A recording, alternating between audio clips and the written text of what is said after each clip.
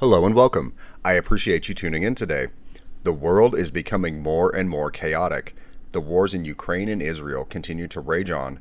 The US is dealing with the aftermath of a really bad hurricane, and FEMA is running out of money. There were also two assassination attempts on a presidential candidate this year, plus, inflation has been high. On top of that, the BRICS summit is just a few weeks away, and the election is almost here. What if things start to spiral out of control? Well, hopefully that will not be the case, but stay tuned because this video is going to consider if crisis can lead to opportunity and we'll look at some examples of people in the past that benefited from these situations. Nothing in this video is financial advice.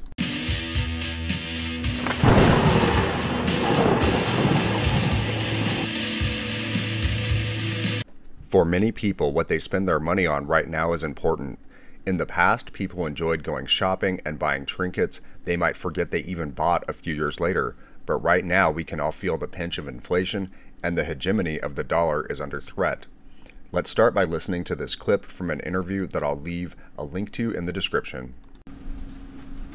In olden times, the chance of turning into anything more than a peasant when you were born a peasant was effectively zero unless there was chaos, unless there was a war or some great catastrophe, which allowed social mobility for you to go to war, win, get a knighthood for bravery, get some land, and change your social mobility class. But there had to be war and chaos for you to escape.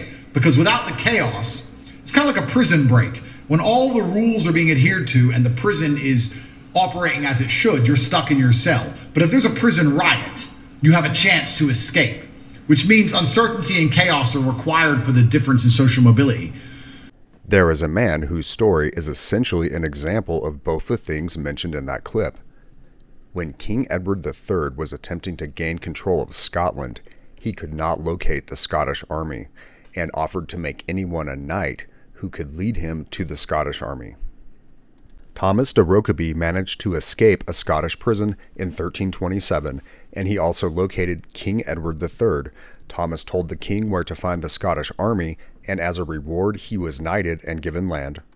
I think a good descriptive term for the chaotic environment that led to Rokeby's status upgrade is the churn. This term is from The Expanse, and this is how it's described in this entertaining series.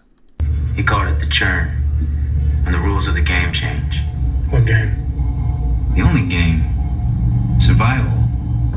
Where the jungle tears itself down and builds itself into something new. Guys like you and me, we end up dead. Doesn't really mean anything. Or we happen to live through it. The character talking in the clip managed to leave his old life behind to become an important crew member on a ship that becomes famous. After the crash of 1929, Charles Darrow spent a few years perfecting the game Monopoly. Within a year of registering the patent, Parker Brothers was selling the game, and Darrow became the world's first millionaire game designer. It probably made sense during the Depression to pick up a recently released game because it could provide many hours of entertainment for a small one time cost. Now let's listen to another clip from the opening interview about inflation.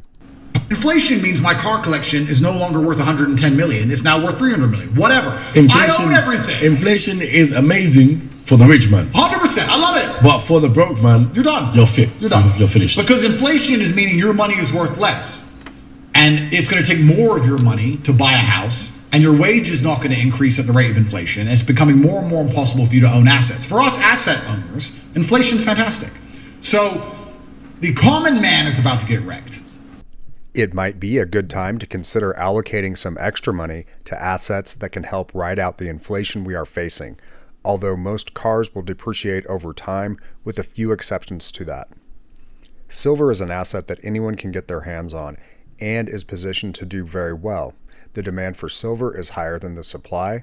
It is historically undervalued right now, and it has been recognized as money for thousands of years. Many people who have done well during economic downturns did it with real estate. Elites like Baron Rothschild would target real estate during economic downturns, and Freemasons will take advantage of the chaos as well. Here is an example of an average man who was able to benefit greatly from real estate during the Great Depression. Arthur Wirtz, the son of a Chicago cop, made his fortune snapping up cheap real estate during the Great Depression.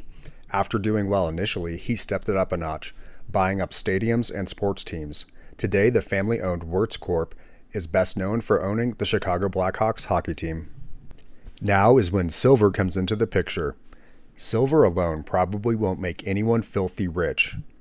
But if it returns to its historic average when compared to gold, it could produce some impressive gains. When it does, if someone was to convert it to another asset that's value was depressed at that time, they might do very well. Rafi Farber has talked about buying a home for 75 ounces of silver. This is because gold and silver will hold their value during hyperinflation. It turns out that FEMA spent 640 million on migrants this year, wasting that money that could have been used for North Carolina, and the national debt just keeps climbing. A lot of people go to work every day without ever thinking about the fact that the fiat currency they are paid with is effectively printed out of thin air, but when they wake up, there will not be enough silver to go around. Thanks for watching. I do appreciate it. Keep stacking, folks, and I will catch you in the next video.